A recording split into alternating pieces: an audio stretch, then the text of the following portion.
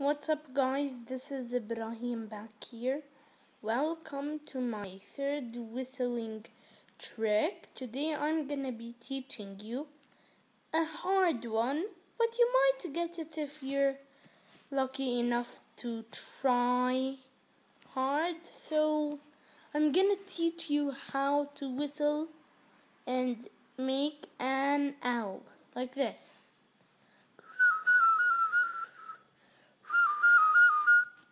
Okay? So, you have to say two and bring out air.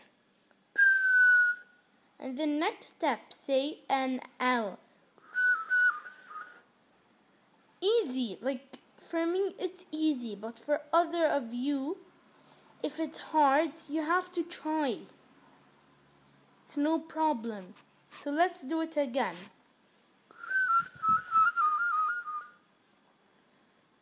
Bye for now. Don't forget to subscribe and leave a like.